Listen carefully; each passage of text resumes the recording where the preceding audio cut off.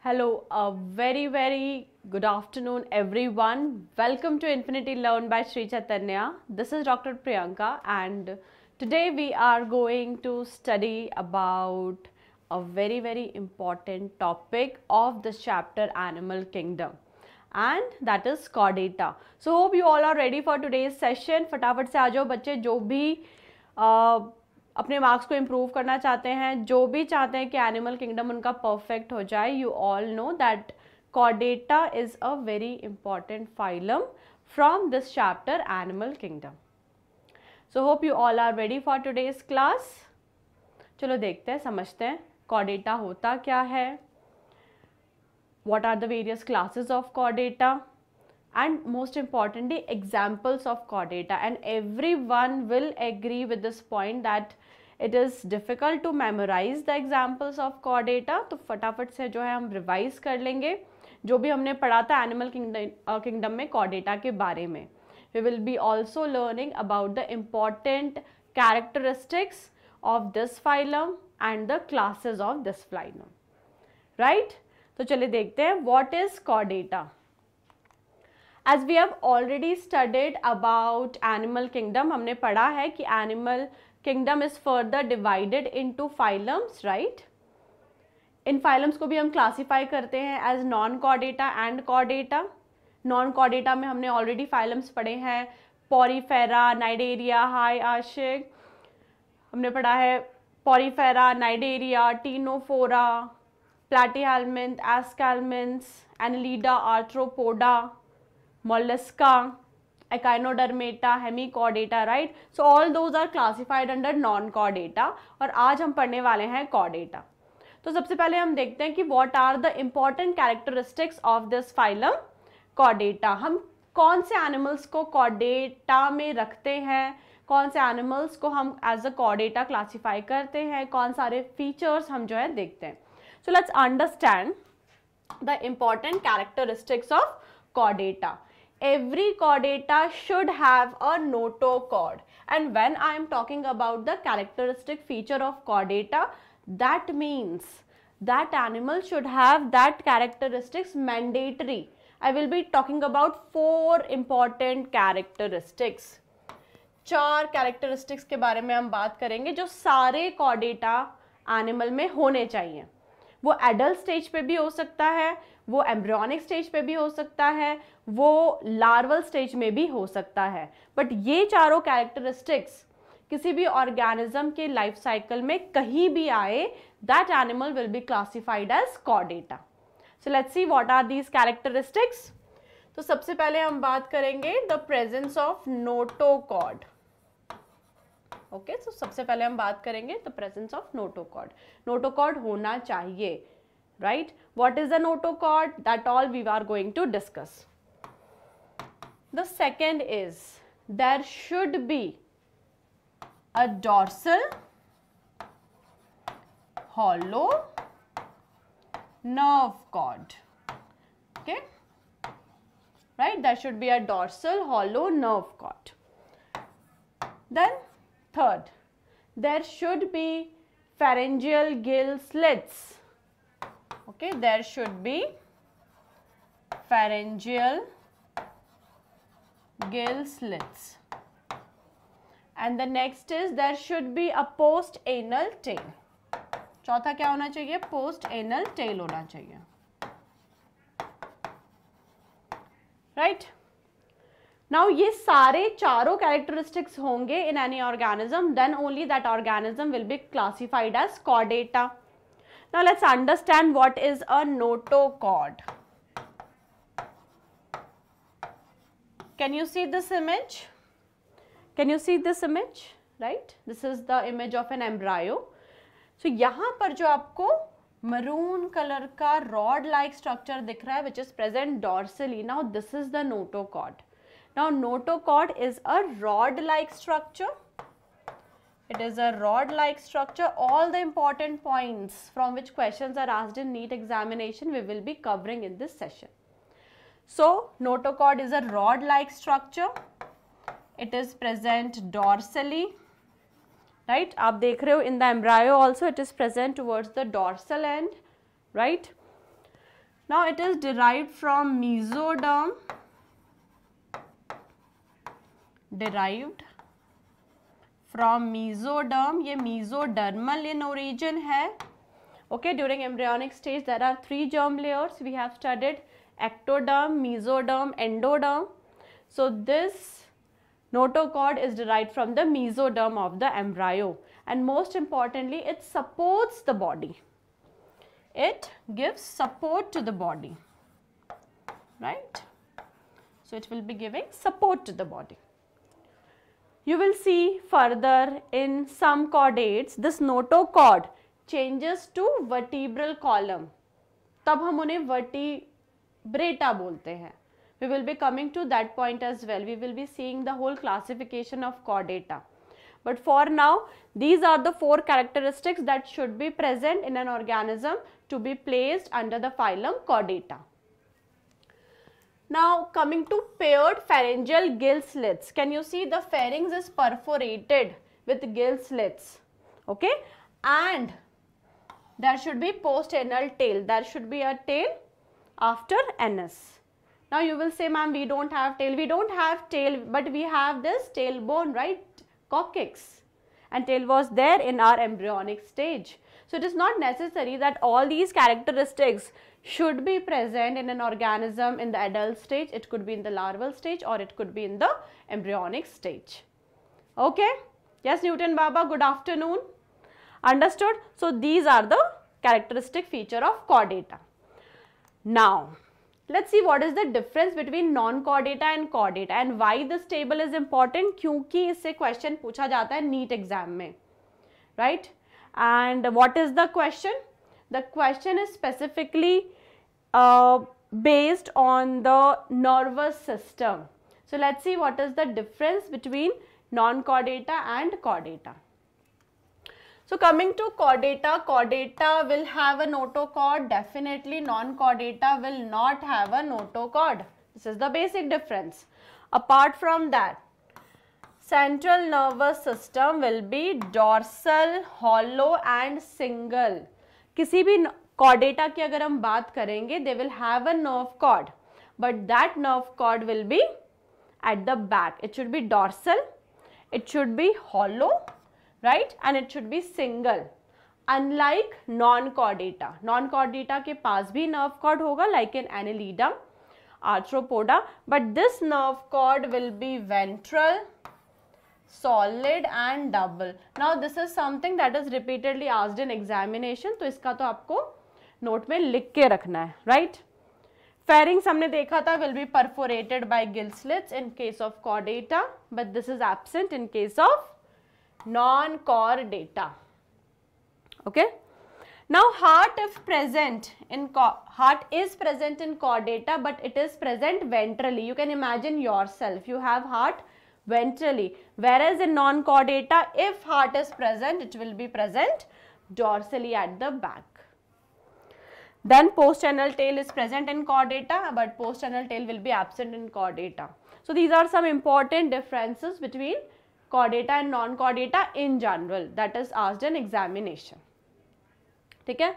अगर आपको कुछ भी डाउट होता है, कुछ भी कंफ्यूजन होता है you guys can ask now next interesting thing is classification of कॉडेटा you will see that कॉडेटा जो कि एक फाइलम है it is classified in three सब फाइलम्स एंड चलिए देखते हैं कि what are the sub phylums of chordata okay so chordata will be classified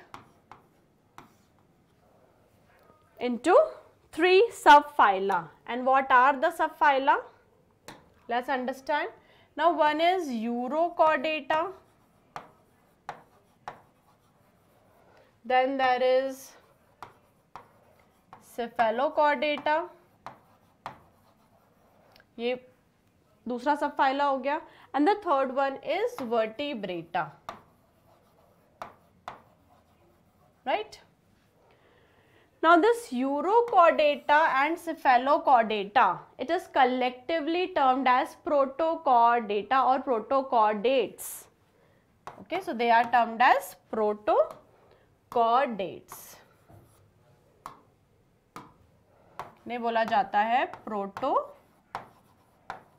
chordates ठीक है अब रिमेंबर वन मोर पॉइंट ये जो यूरोकॉडेटा सिफेलोकॉडेटा है which are also termed as protochordate they will also भी टर्म्ड एज ए craniata और avertebrata right because they are not vertebrates because they don't have brain box right and this vertebrata can also भी termed as craniata craniata what is a cranium what is a cranium कई बार आपने ये term सुना होगा।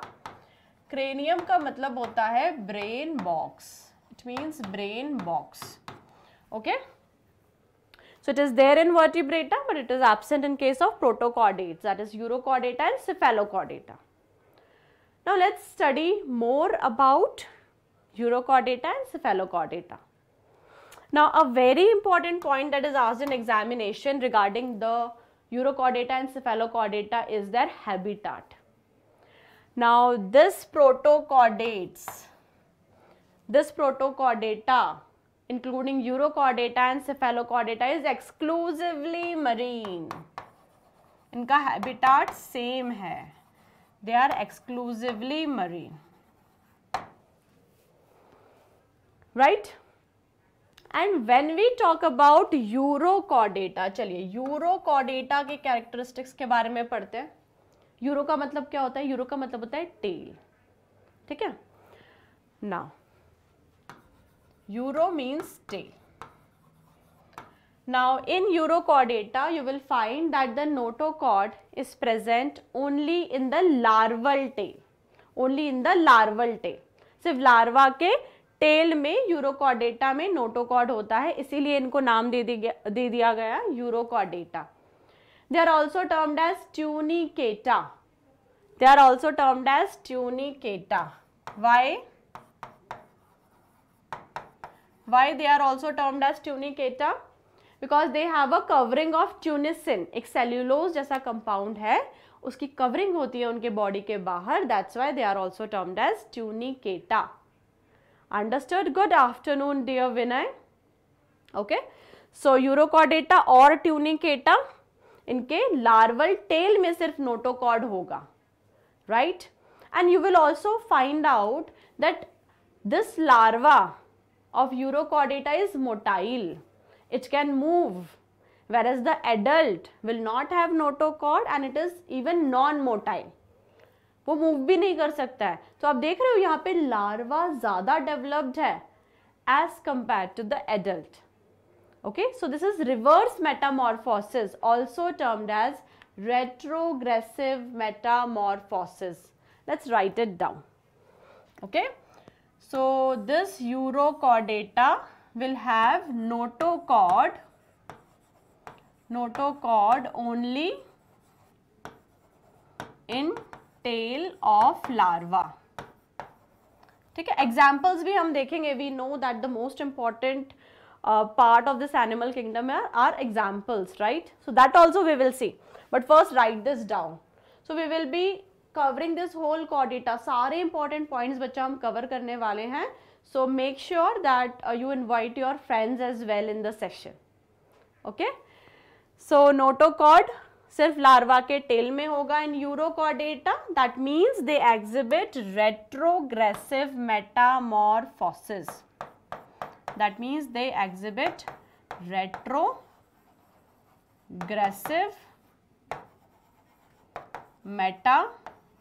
metamorphosis क्या होता है इसका मतलब that means the larva is more developed than the adult so that is what is retrogressive metamorphosis right examples we will be studying don't worry about that now coming to cephalochordata Now cephalochordata में cephalo मतलब क्या होता है?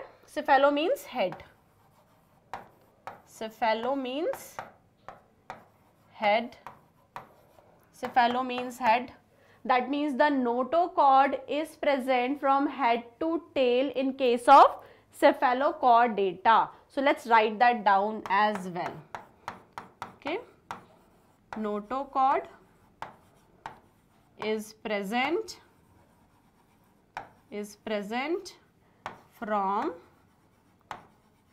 head to tail. So this is the major difference between urochordata and cephalochordata.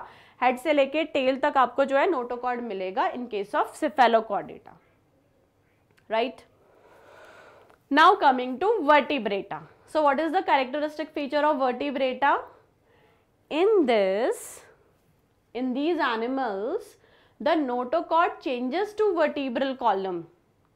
Okay? So let's write it down in them.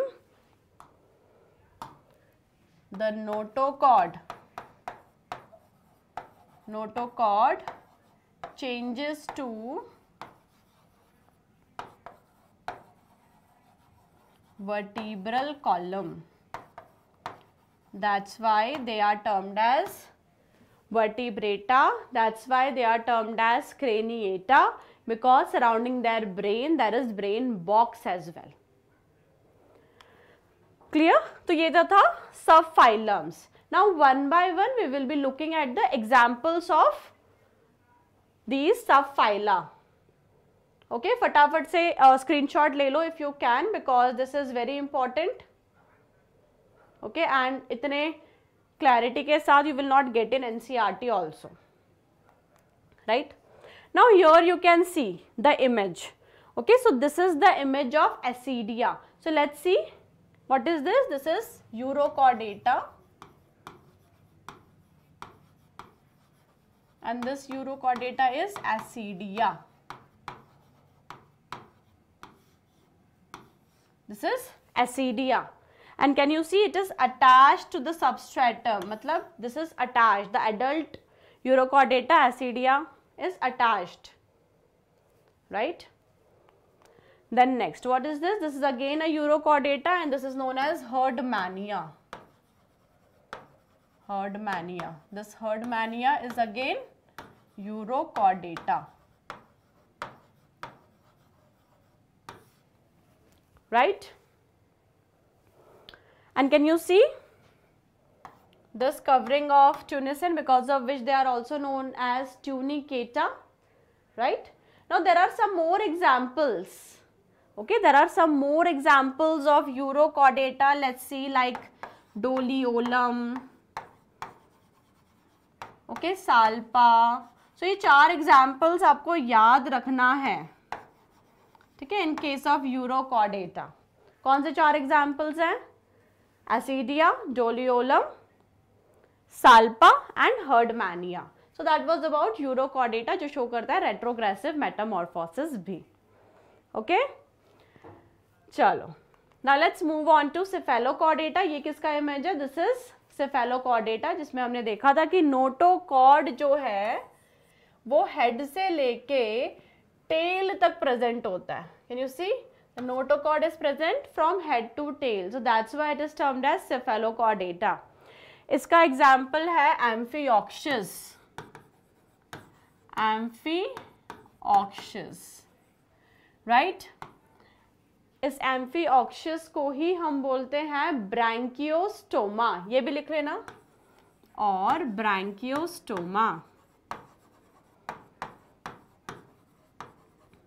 ठीक है this is also known as lancelet lancelet क्यों because it is pointed from both the ends can you see the image okay it is pointed from both the ends that's why it is also known as lancelet ठीक है तो Urochordata में आपको तीन examples याद रखना है बच्चा okay okay, Ekta Vinay and uh, तीन एग्जाम्पल्स कौन से हैं यूरोकॉडेटा के हमने देखा ascidia doliolum salpa herdmania and in cephalochordata you will have to pay attention to just one example जिसको हम बोलते हैं amphioxus, branchiostoma or lancelet. Hope this is clear. Okay. Now let's move further and see the classification of vertebrata. So now we have studied about protochordates. Now it is time for vertebrata. So vertebrata is divided into two divisions. Uh, Ekta, that is not, uh, I don't know what will be uh, happening in future, but for now I am teaching and hope you will enjoy it. Okay. So, let's see. So, vertebrata is divided into two divisions. One is agnatha. तो gnatha मतलब क्या है बच्चा यहाँ पर gnatha means jaw, right? And A means we know that it is not there. Hello Raja, right? And stoma means क्या होता है बच्चों Stoma मीन्स होता है mouth, right? So agnatha means these organisms will not have jaw in their mouth. ठीक है? नाम से समझ में आ रहा है ए ग्नाता ग्नाता मीन्स जॉ ए मतलब नहीं होता है. Okay and stoma means mouth so what is gnathostomata ये भी आप अब बता सकते हो. ग्नैथोस्टोमेटा स्टोमेटा मतलब mouth gnatha means jaw means they have jaw in their mouth समझ में आया? So, एक नाथा में हम पढ़ेंगे सिर्फ़ एक class that is cyclostomata again cyclo means circular and stoma means mouth right so daily class होगा? हाँ बच्चा राजा डेली क्लासेस होगा आपका नीट का। Every subject every topic will be covered and I can assure you that this will be very helpful for your NEET preparation right so एक नाता के बारे में हमने पढ़ा, जिनके माउथ में जॉ नहीं है। फिर हमने पढ़ा कि इसमें आता है क्लास साइक्लोस्टोमेटा जॉ तो है ही नहीं।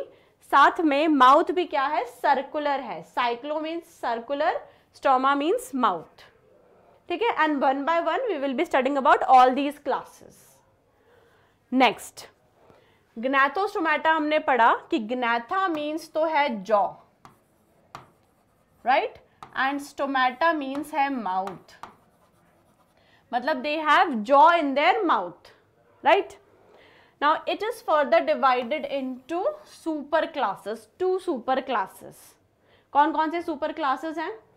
पहला है पाइसेस पाइसेस में आते हैं fishes okay please pay attention यहाँ पर. Cyclostomata are not not not fishes यहाँ पर मैं नॉट फ़िश लिख देती हूँ, नहीं तो बच्चे इसको भी फ़िश समझते हैं right so fishes are just pisces that have fins and they are of two types chondrichthyes and osteichthyes chondrichthyes cartilaginous fishes होते हैं ऑस्टेक थाइज बोनी फिशेस होते हैं बट इनमें बहुत बहुत डिफरेंस होता है and every difference we will be studying next दूसरा सुपर क्लास क्या हो गया बच्चों? टेट्रापोडा टेट्रा का मतलब होता है फोर ठीक है? Tetra means four and poda means पैर लिम्स लिखूँगी मैं. यहाँ पर. So they have four limbs tetrapoda चार पैर इनके पास होते हैं. and in this there are classes amphibia reptilia aves and mammalia everybody pay attention जहां जहां भी मैं मार्क कर रही हूँ जहां जहां भी मैं स्टार मार्क कर रही हूँ that means that is asked in NEET examination right so classes amphibia reptilia aves and mammalia pisces के classes chondrichthyes osteichthyes and class cyclostomata everything we are going to cover one by one if you have any doubt any confusion till now please let me know And you can also take a screenshot of uh, this chart. इससे आपका vertebrata तो जो है clear हो जाएगा। Now क्या आपने एक ऐसा स्टेटमेंट सुना है that all the vertebrates are chordates but all chordates are not vertebrates ये असर्शन एंड रीजन टाइप के क्वेश्चंस में पूछा गया था पहले एम्स में। Okay okay? तो वो आप जो है इस क्लासिफिकेशन से समझ सकते हो इजेंट इट कि सारे vertebrata all vertebrate are chordates definitely but all chordates are not vertebrate सारे कॉडेट्स वर्टिब्रेट्स है क्या? नहीं because some are protochordates as well okay so please note down this line as well क्या था line line था all vertebrates are chordates NCERT का line है जो एग्ज़ाम में पूछा जाता है। But all chordates are not vertebrates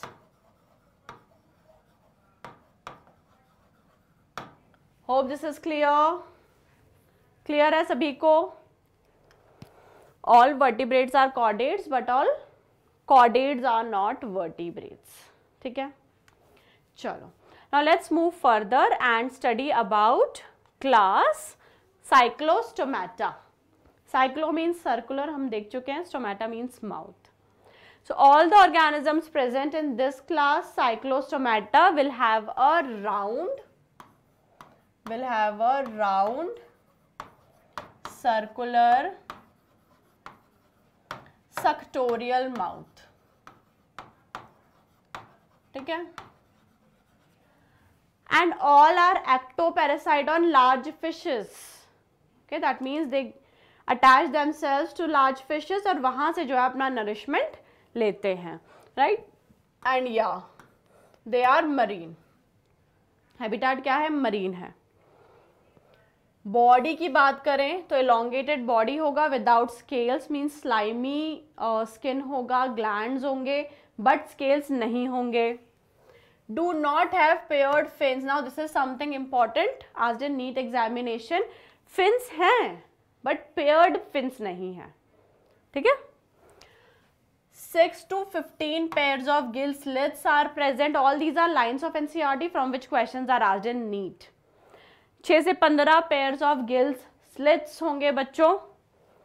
ectoparasite मैं ऑलरेडी बता चुकी हूँ कि they for nourishment for their nutrition they will depend on large fishes वो with the help of this circular suctorial mouth they will get attached to the body of large fish and will derive their nutrition from there clear cranium and vertebral column are made up of cartilage brain box भी है vertebral column भी है but वो किससे बना हुआ है cartilage से बना हुआ है बोन से नहीं बना हुआ है and they have a closed circulatory system jaw तो वो उनमें है ही नहीं हमने पढ़ा था because they are classified under agnatha jaw तो है ही नहीं ठीक है माउथ भी कैसा है? सर्कुलर है सक्टोरियल है राउंड है.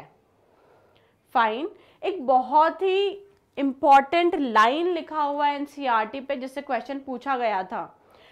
And that line is they migrate to fresh water for spawning and die after few days that is right because they live in the sea and from sea they go to fresh water for spawning spawning का मतलब क्या है? For laying eggs for laying eggs right and this type of behaviour is termed as anadromous behaviour तो वो भी लिख देते हैं, क्या होता है anadromous behaviour let's see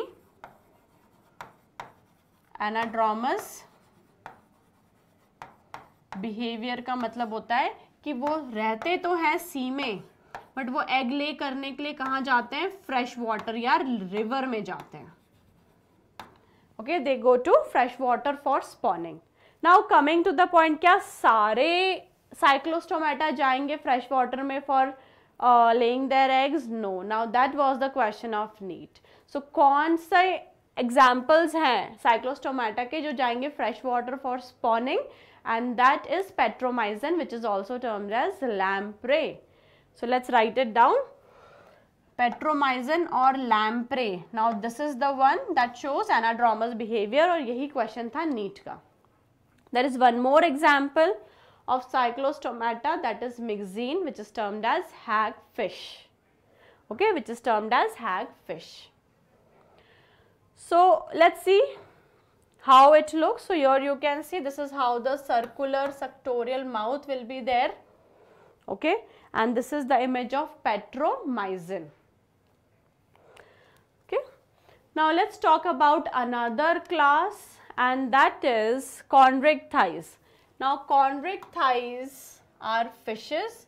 And which type of fishes are they? These are cartilaginous fish. These are cartilaginous fishes. ठीक है? So there are many differences between cartilaginous fishes and bony fishes major difference क्या है? They are marine cartilaginous fishes are marine okay they live in the sea their body is streamline ये तो similarity हो गया. Cartilaginous fishes में भी and bony fishes में भी बॉडी तो स्ट्रीमलाइन ही होगी so that to get less resistance when they are swimming Right now there endoskeleton is made up of cartilage but जब हम बात करते हैं ऑस्टिक थाइस की there endoskeleton is made up of bones right Yeah, now this is a line from NCRT from which question is asked in NEET. Notochord is persistent throughout their life. Though they have backbone, but still notochord will be there throughout their life. They have gill slits, but no operculum. Operculum क्या होता है? Operculum होता है gill cover. Okay, जो इनमें नहीं होता है. So here you can see that gills will be there, gill slits will be there, but they will not be covered by gill cover या operculum. But operculum is present in ostrich or bony fishes. Okay. Now, scales are there on their body. Okay, you will find that their skin is tough, rough because of placoid scales. ठीक है? और जब आप placoid scales का structure देखोगे you will find that the scale structure is similar to your teeth okay जैसे teeth में होता है enamel enamel dentine and pulp right Similarly, in placoid scales, there will be enamel, dentine and pulp. So, you can say that the teeth of chondrichthyes thighs is derived from their scales. Isn't it interesting? Heart तो देखो दोनों में same होगा cartilaginous fishes और bony fishes में heart is two chambered in both these fishes और इस तरह के हार्ट को हम बोलते हैं venous heart and what is venous heart venous heart का मतलब है that only deoxygenated blood can pass through their heart okay so this is termed as venous heart and they are cold blooded ये भी एक similarity है. They can not regulate और they can not maintain a constant internal body temperature so their temperature will keep on changing. So they are poikilotherms. Now ye itna zyada important point that many times you will find that question is asked from here. So you will find that fishes amphibians reptiles all are poikilotherms.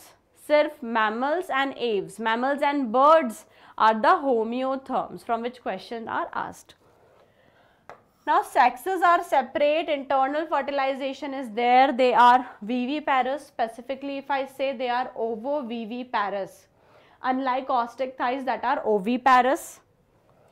Now in males pelvic fin changes to claspers. Now this is also important point. हमने देखा fertilization is internal, right? For that, that means for deposition of semen in the body of females there should be some uh, copulating organ and here it is claspers okay in males. Now example is Colledons, Colledon is dogfish. Then there is Pristis, sawfish, Carcharodon is the great white shark and Trigon that is stingray. Right. So these are examples important hai. Here there is one more difference between the ostrich and bone, uh, car, uh, cartilaginous fishes that is chondrichthyes and that is the presence of mouth. Can you see the mouth of cartilaginous fish is subterminal. Shark सबने देखा है movies में तो देखा ही होगा अब देख रहे हो माउथ कहाँ प्रेजेंट है इनका एंड पे नहीं है एंड पे नहीं है it is present subterminally but जब आप देखोगे बोनी फ़िश का mouth it is present at the end और it is present terminally right so let's see some more examples trygon हमने देखा था trygon is this fish that contains poison sting so these examples are important torpedo torpedo have electric organs right apart from that saw fish that is pristis pristis का image भी आपको मिलेगा in N C R T okay it is known as saw fish and why it is known as sawfish you because you will see in the snout there are there are uh, projections like a saw that's why they are also known as sawfish similarly scoliodon dog fish scoliodon को dog fish क्यों बोलते हैं because of their power of smell okay so the normal shark that you see they have uh, immense power of smell that's why they are known as scalidon okay now there is one more difference between ostrich and bony fishes or ostrich and cartilaginous fishes and that is their nitrogenous waste अगर हम nitrogenous waste की बात करें okay? So in case of cartilaginous fish nitrogenous waste क्या होगा बच्चों urea but जब हम बोनी फिशेस की बात करते हैं ऑस्टिक थाइस की बात करते हैं so there cart there nitrogenous waste is ammonia ठीक है? So these are some major differences between chondrichthyes and osteichthyes चलो बोनी फिशेस पे आते हैं ऑस्टिक थाइस पे आते हैं। They can be fresh water they can be marine as well ये भी डिफरेंस है, हमने देखा था cartilaginous fishes are marine but they can be both right their endoskeleton is bony streamline body is there mouth आप देख सकते हो, एक एंड पे है। इस तरह के माउथ को बोला जाता है टर्मिनल माउथ चार पेयर ऑफ़ गिल्स भी हैं और ये चार pair of gills they are again covered by gill cover and that is termed as operculum so operculum या गिल कवर इनमें प्रेजेंट है। जैसे हमने देखा था there are were placoid scales in cartilaginous fishes they have cycloid और ctenoid scale एक और डिफरेंस है दोनों फिशेस के बीच में. They have air bladder as well bony fishes के पास होता है एयर ब्लैडर जिसकी वजह से they can float in water they don't need to swim continuously पर अगर हम कार्टिलेजिनस फिशेस की बात करें, अगर वो स्विम नहीं करेंगे तो वो सिंक कर जाएँगे. Because they don't have this air bladder okay so this air bladder is the characteristic feature of bony fishes heart वही टू चैम्बर्ड ही होगा पोइकिलोथर्म दोनों हैं। सेक्सेस यहाँ पर सेपरेट है that means these are unisexual organisms dioecious organisms and they are oviparous they don't have a larva that's why development is also direct right so oviparous means these are egg laying fishes Now let's see some important examples of uh, these bony fishes. So i will classify these organisms into three groups so first is marine fishes okay so there will be some fishes, bony fishes that are marine. There will be some fishes that are freshwater, right? And there will be some fishes which are aquarium varieties. Okay. And in sabhi ke examples, you should know. So, marine is Exocetus marine fish का example है एक्जोसीटस जिसे हम flying fish भी बोलते हैं and why they are termed as flying fish because they have broad fins okay and when they leap out of water it seems like they are flying actually they are not flying right then second is exocetus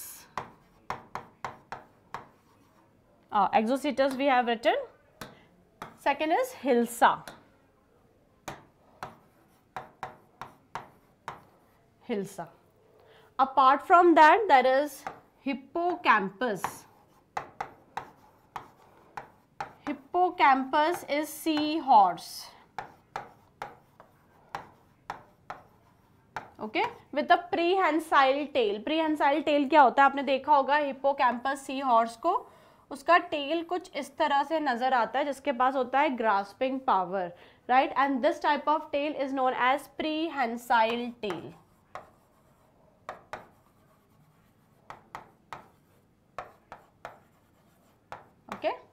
that is prehensile tail right now coming to freshwater species of fish freshwater wali kaun si hongi fishes labiorhoita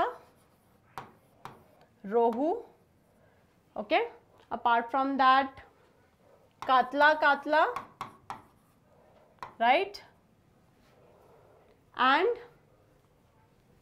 clarias that is magur okay so these are the examples of freshwater fishes now aquarium varieties की बात करें तो aquarium varieties में होगी betta betta is fighting fish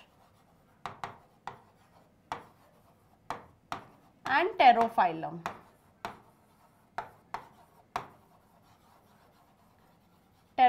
is angel fish ठीक है? तो ये सारे एग्जाम्पल्स आपको याद रखना है। When we talk about examples of osteichthyes और bony fishes okay so hope this is clear. now let's come to amphibians or amphibia so whenever i ask this question to my students that what are amphibians what is amphibia right right? अगर मैं आपसे भी पूछूं कि amphibians होते क्या हैं what you will say that these are the animals that are adapted to live both on land and water now my next question is next question मैं इमीडिएटली पूछती हूँ कि there are certain snakes that can live on water and land but are we going to call them amphibians again no ठीक है? तो अगर मैंने पूछा आपसे कि एम्फीबियंस होता क्या है तो आपका पहला आंसर होना चाहिए कि the one the organism that can not complete the life cycle without water okay that means जब हम एम्फीबियंस की बात करते हैं, इसका मतलब ये नहीं है कि वो वाटर पे भी रह सकते हैं लैंड पे भी रह सकते हैं। नहीं. This amphibians can not complete their life cycle they can not complete their life cycle without water. Okay? इसका मतलब वो एग देने के लिए उनको पानी में जाना ही पड़ेगा। They can not lay their eggs on land they will have to lay their eggs in water okay so this is what the characteristic feature of amphibian is बाकी एनिमल्स जो हम देखते हैं, जो पानी में भी रह सकते हैं लैंड पे भी रह सकते हैं but water is not mandatory for their life cycle they don't need water like reptiles का बात करो, उनको वाटर नहीं चाहिए एग करने के लिए। फाइन नाउ नेक्स्ट क्वेश्चन जो इस क्लास से पूछा जाता है amphibia that is their skin okay, their skin is slimy, full of glands without scale.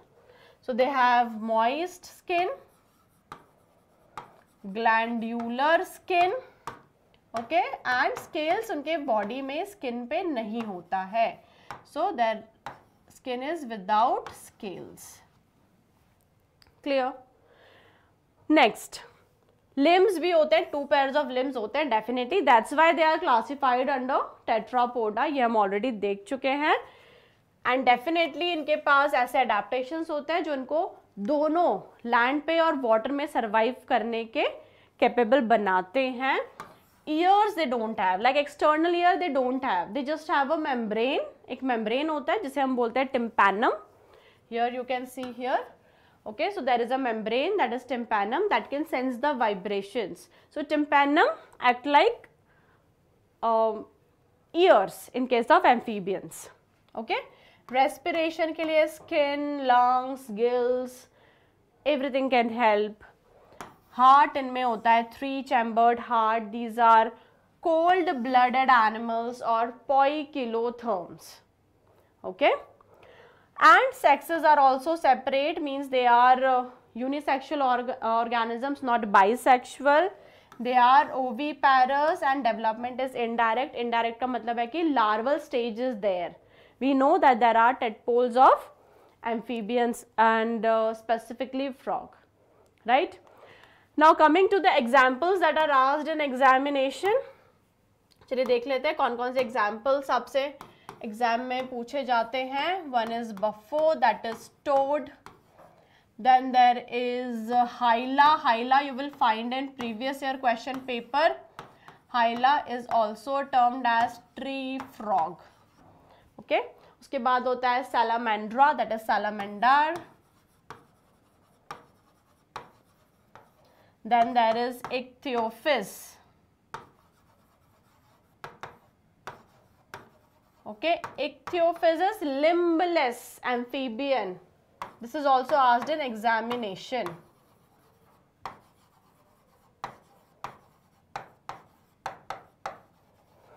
Okay okay, तो उसको भी मैं स्टार मार्क कर दूँगी examples are important but I will also be telling you that what all examples are important for examination.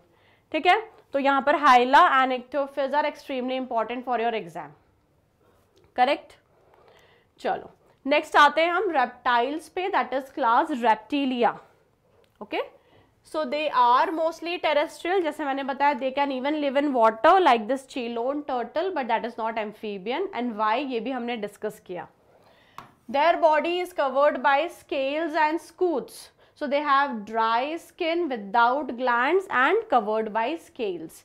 This is also important. Okay.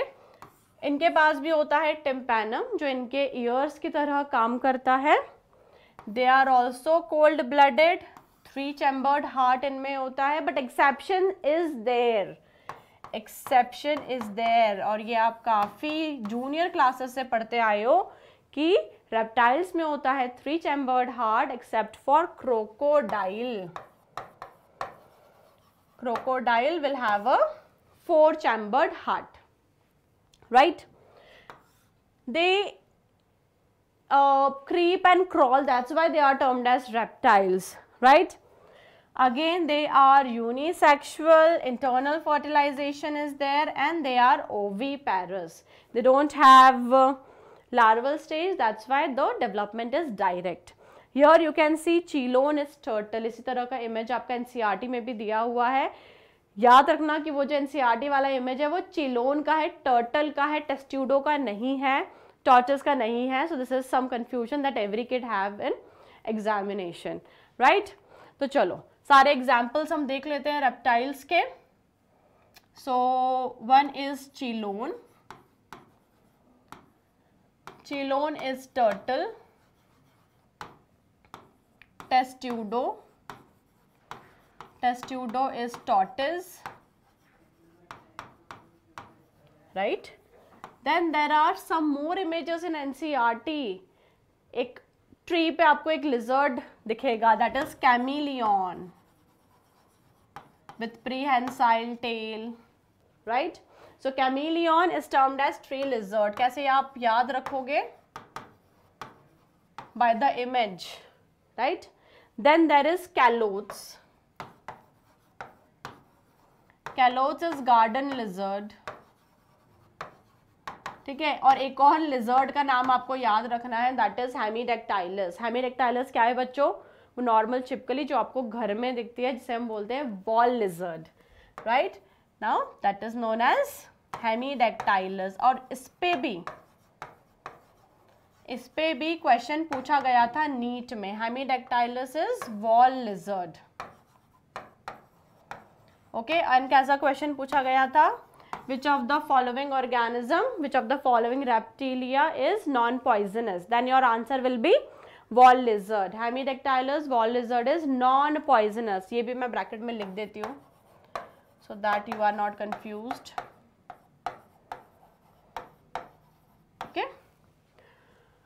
Then crocodilus is crocodile and alligator. Crocodilus alligator are also reptiles right? And there are some more examples of poisonous snake जिस पे भी question पूछा जाता है। So poisonous के snake में कौन कौन आ जाएँगे? Naja, bungarus that is krait and vipera that is viper snake हमने पढ़ा था that most of them are oviparous but when we are talking about vipera it is ovoviviparous और वीवी पैरस तो ये भी मैं लिख देती हूँ so that you are not confused understood so these are the examples जो आपको याद रखना है। इसमें से सबसे इंपॉर्टेंट कौन सा है? हेमीडेक्टाइलस है। पॉइजनस स्नेक भी जो है एग्ज़ाम में पूछा जाता है सो पॉइजनस स्नेक पे भी मैं स्टार मार्क कर दूँगी। इवन कैलोथ्स इज़ ऑल्सो आज in examination which is garden lizard and not tree lizard तो ये डिफरेंस आपको पता होना चाहिए। ठीक है? Chelone is turtle and testudo is tortoise important ना let's talk about class aves. Aves में आते हैं सारे birds okay remember one point that aves aves some are flying some are non flying adaptation specific to this class aves is seen in the flying birds जो birds fly कर सकते हैं, उसमें आपको कुछ अडेप्टशन दिखेंगे जो हम यहाँ पर डिस्कस करने वाले हैं. Non flying birds are ostrich kiwi emu right these are also known as flightless birds they have a streamlined body in their mouth they have beaks and no teeth teeth नहीं होता है but beak होता है. Okay their forelimb is modified in to wing so that they can fly and ये fly कर पाए, इसके लिए इनके बॉडी में काफ़ी सारे मॉडिफिकेशन होते हैं. कौन कौन से मॉडिफिकेशन होते हैं हम देखेंगे? स्ट्रीमलाइन बॉडी एक हम लोग देख चुके हैं. Right right? इसके अलावा हम देखेंगे कि in their body the bones have air spaces जिसको हम बोलते हैं pneumatic bone right so they are homeotherms मैंने बताया था फिशेस की बात करें एम्फीबियन की बात करें रेप्टाइल की बात करें all these are poikilotherms but aves and mammals aves and mammals these are homeotherms और warm blooded animals right?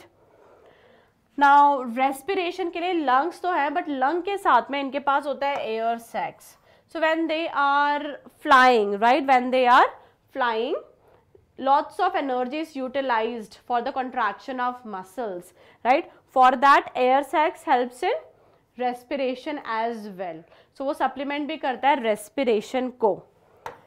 Heart is four chambered ठीक है? हमने देखा था कि क्रोकोडाइल के पास फोर चैम्बर्ड हार्ट है मैमल्स के पास फोर चैम्बर्ड हार्ट है एंड इवन बर्ड्स के पास भी फोर चैम्बर्ड हार्ट है। Sexes are separate that means they are unisexual and not bisexual they are in shows internal fertilization and they lay egg egg ले करते हैं, इसका मतलब है they are oviparous right Now let's see some more modifications and some more characteristics of their body. Their skin is dry without gland except for one gland and that is known as preen gland. Preen gland. Now this preen gland is also known as oil gland और कहाँ present होता है पूरे skin में सिर्फ़ ये preen gland present होगा the base of the tail to lubricate their uh, wings when they are flying. इसके अलावा जैसे मैंने बताया कि their bones are ossified but but उनमें एयर कैविटीज होती है, यहाँ पर आप इमेज में देख सकते हो. एंड दीज एयर कैविटीज और air pockets make their bone lighter so this type of bone is known as pneumatic bone तो ये न्यूमेटिक बोन इंपॉर्टेंट है प्रीन ग्लैंड इंपॉर्टेंट है. अगर हम इनके डाइजेस्टिव ट्रैक्ट की बात करें सो दो इंपॉर्टेंट एंड एडिशनल चैम्बर्स होते हैं, जिन्हें बोला जाता है crop and gizzard crop help करता है स्टोरेज में एंड गिजर्ड हेल्प करता है ग्राइंडिंग में हमने देखा था टीथ तो इनके पास है ही नहीं टीथ तो नहीं है तो टीथ नहीं है तो ग्राइंडिंग में कौन हेल्प करेगा इनका gizzard in the digestive system clear so that was about aves चलिए अब हम इंपॉर्टेंट एग्जाम्पल्स एव्स के भी देख लेते हैं okay? So one is neophoron neophoron is vulture aptenodyte aptenodyte is penguin सारे important examples हम लिख लेंगे right इसके अलावा corvus it is crow columba is pigeon सारे इंपॉर्टेंट एग्जाम्पल्स मैं मार्क भी कराऊँगी right then psittacula it is parrot okay then pavo pavo is peacock right so ये कुछ इंपॉर्टेंट एग्जाम्पल्स हैं specially न्यूफरॉन aptenodite, right, Psittacula, pavo, there is one more example. Struthio. Struthio is ostrich.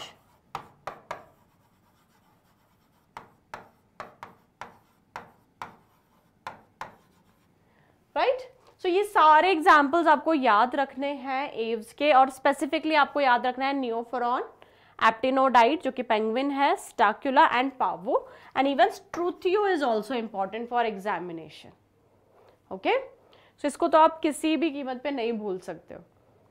ना let's move on to our next class that is mammalia और mammals now mammals are classified in three categories egg laying mammal prototheria metatheria is marsupials और pouched mammal and eutheria is the true mammal also known as placental mammals right So, they definitely have two pairs of limb as we are classifying them in tetrapoda.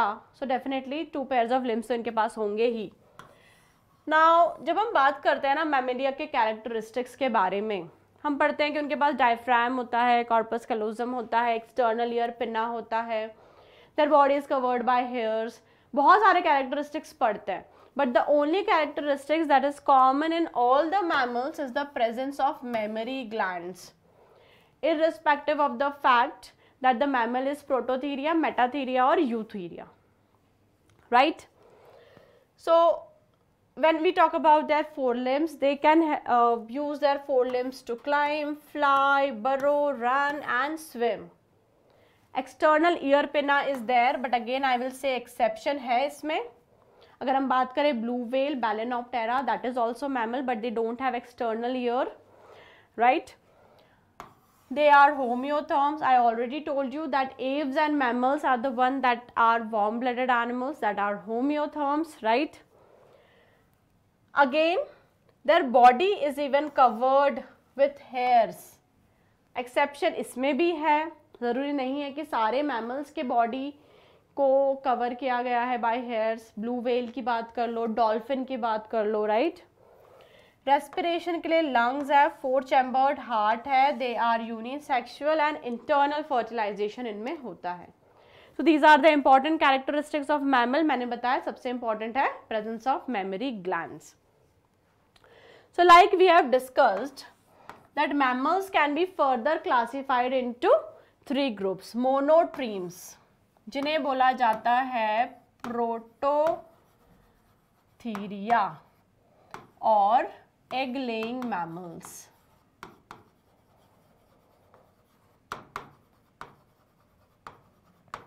Right right?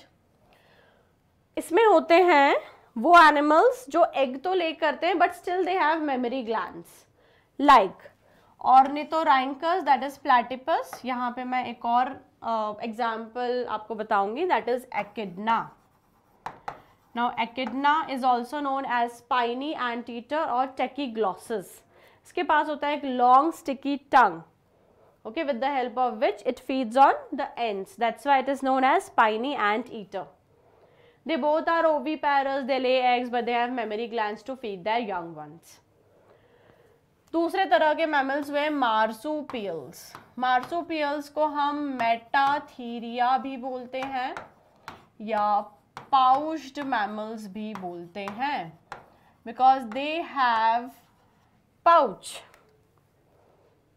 okay for the development of their young ones. Means when their young one is born, they are premature and then they reside in their pouch and then they grow there. Okay. So, a very common example is macropus or kangaroo. Fine. So, they are definitely viviparous. Cool. Now, next is placental mammals. Now, they are also known as eutheria. याद रखना बच्चों Eutheria ठीक है? You का मतलब हमेशा होता है ट्रू थीरिया मतलब mammals and these are also termed as placental mammals right because they are vivi viviparous okay and they have a placenta attach to the developing foetus and the mother's body बहुत सारे इसके examples हैं and one such example is macaca macaca is monkey so एक और बार देखना classification of mammals prototheria metatheria eutheria and ये दोनों ही जो मैमल्स हैं, इनके फीटर्स का डेवलपमेंट होता है inside the body of female whereas in case of prototherian mammals the development of foetus is outside the body तो यहाँ पर इसीलिए लिखा हुआ है external development okay so let's see what are the examples of mammalia so सबसे पहले मैं लिखूँगी homo sapiens right we are also mammals then canis. Canis is dog.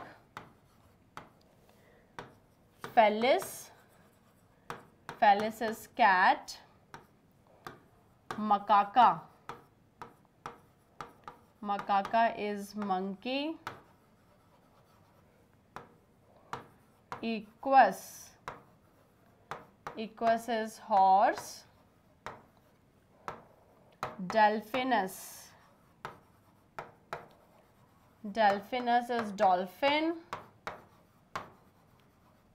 Balanoptera.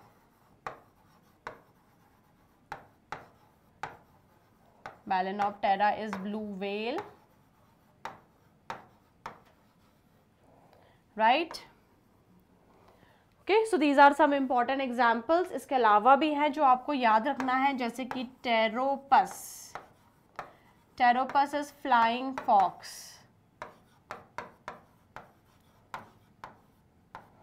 flying fox और बैट यू कैन से ठीक है तो इसमें important कौन कौन से हैं? इसमें इंपॉर्टेंट है एक delphinus balaenoptera pteropus right so these are the most important examples of mammalia इसके अलावा भी एग्जाम्पल्स हैं जैसे कि ornithorhynchus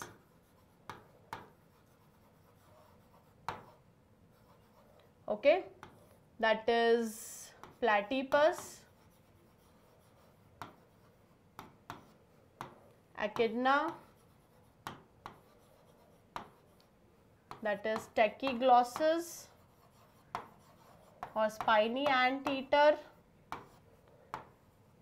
macropus, that is kangaroo. Okay. So I will star mark Ornithorhynchus and Echidna and Macropus as well which will be asked in the examination. Okay, you can't remember the examples but that's why I have simplified it. सारे examples important नहीं है इस पूरे session में जिन जिन examples को मैंने स्टार मार्क किया है make sure you are going through that minimum okay so that was about class mammalia hope all this session was useful जो भी हमने आज पढ़ा है कॉडेटा के बारे में, हमने उसके कैरेक्टरिस्टिक फीचर देखा, हमने क्लासिफिकेशन देखा, हमने सारे क्लासेस देखे, उसके एग्ज़ाम्पल देखा and I hope this session was useful तो जिसको भी रिवाइज करना है phylum कॉडेटा make sure you are sharing this session with them okay so please don't forget to like the session and share this session with your friends and if you have not subscribed to Infinity Learn NEET channel make sure you are subscribing that as well. Thank you very much. Bye bye. Take care. See you in the next class. Bye bye.